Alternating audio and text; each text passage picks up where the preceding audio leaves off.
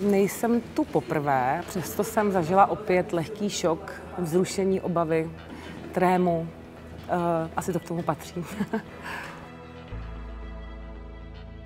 Nemám vůbec, právě si říkám, že to bude možná zajímavý, vzhledem tomu, že už jsme tady něco předtím kdysi nastínili, ale tak je fakt, že věci se pořád uh, dějou nový a vyvíjejí, takže uvidíme.